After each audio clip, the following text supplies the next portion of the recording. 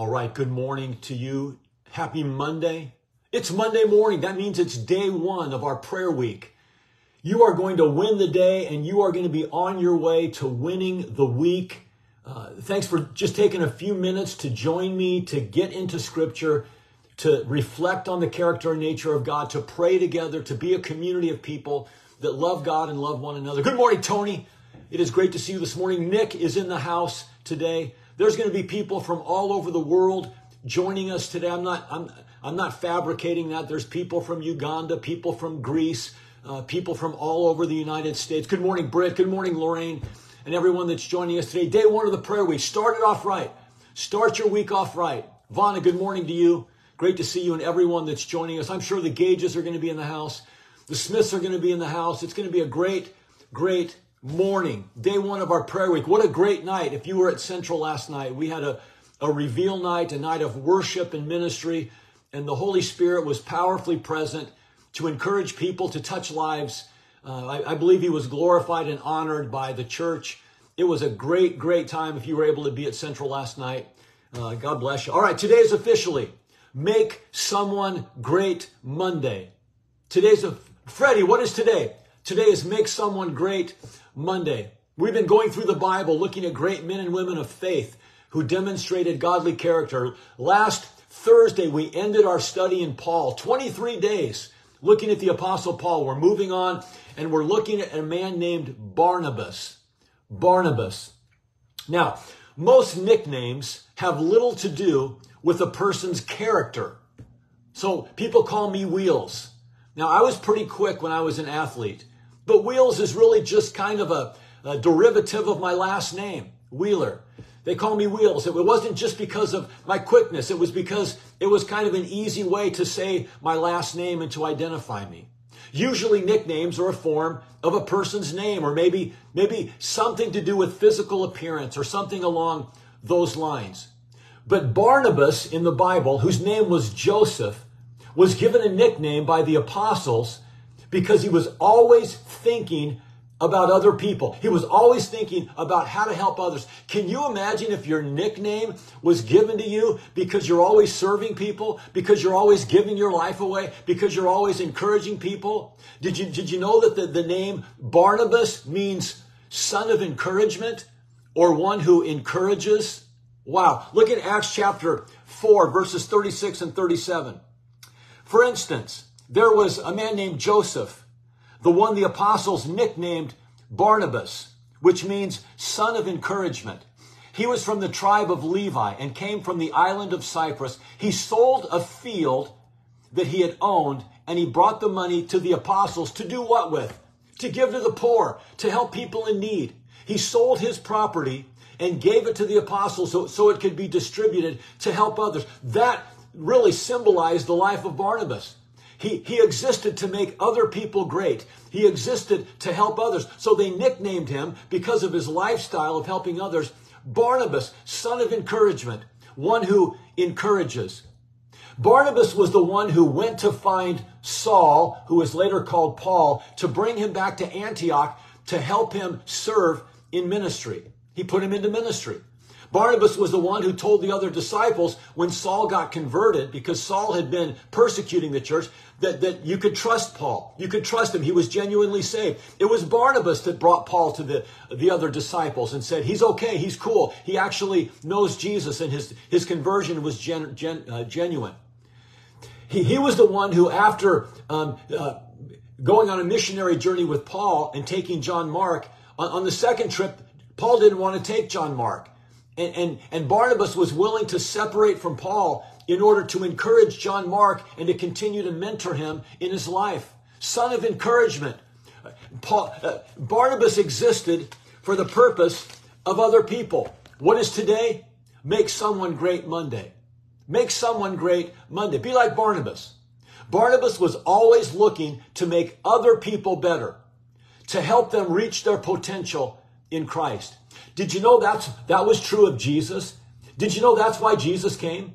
Mark chapter 10 verses 44 and 45 says, even the son of man, Jesus says about himself, even the son of man did not come to be served, but to serve and to give his life as a ransom for many. Jesus said, I came to serve, not be served. I came to give my life away. I came to make others great. Jesus came to make your life great. He came to make you great. Uh, Second Corinthians chapter 8 verse 9 says this, you know the generous grace of our Lord Jesus Christ. Though he was rich in heaven, in glory, he had everything he, he, that he needed. Though he was rich, yet for your sakes, he became poor so that by his poverty, he could make you rich. He became a human. He suffered and died for you to make you rich spiritually. He became poor. Jesus came to make you great. He came to make me great spiritually. I was dead in sin. Jesus came to make me alive.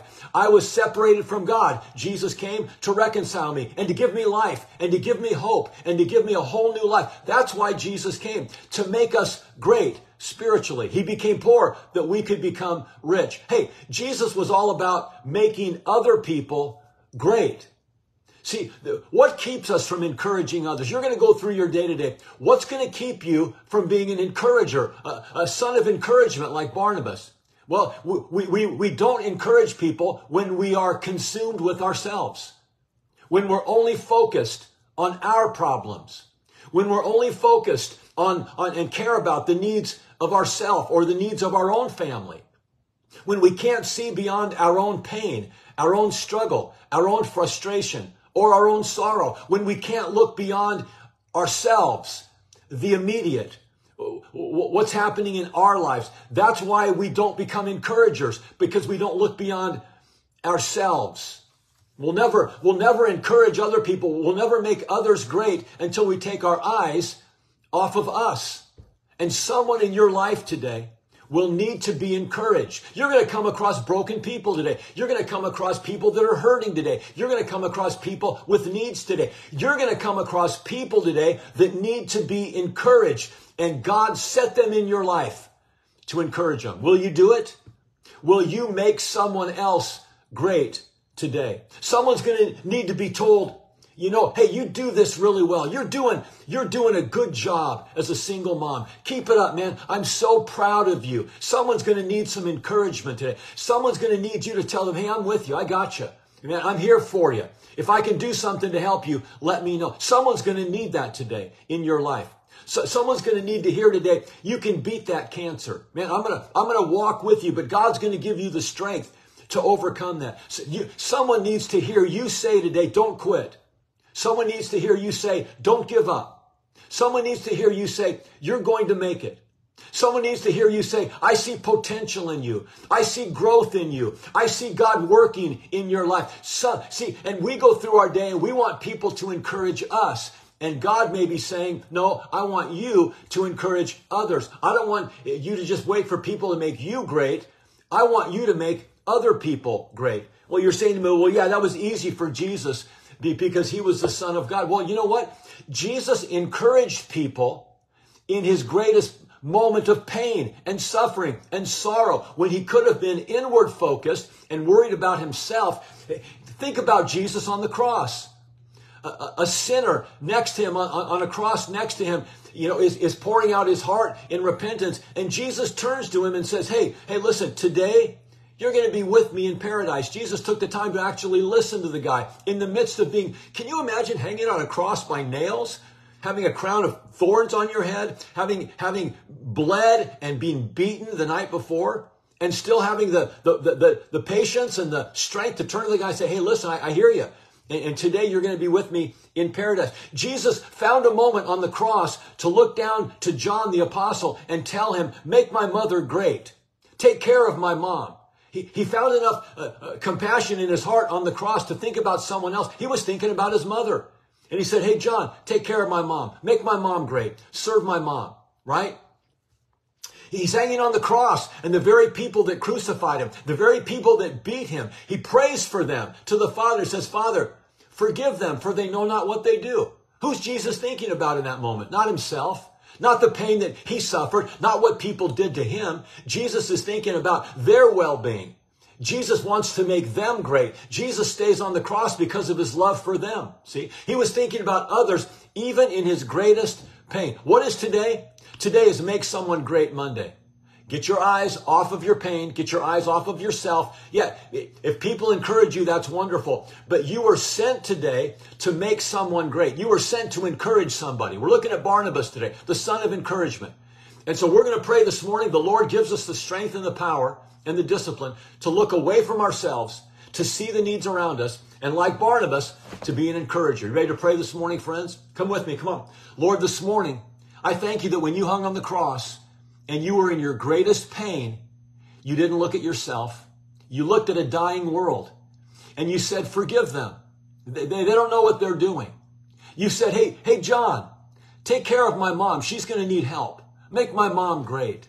You, you, Jesus, you looked at the, the thief on the cross and you listened to him and you saw his heart was tender and repentant.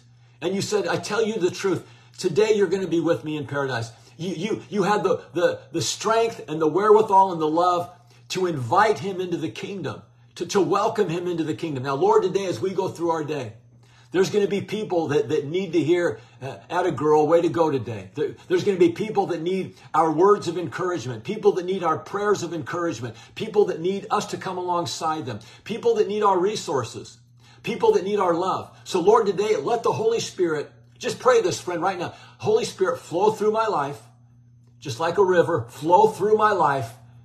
And, and, and everywhere that river goes, every person it touches, let it give life. Let my words give life.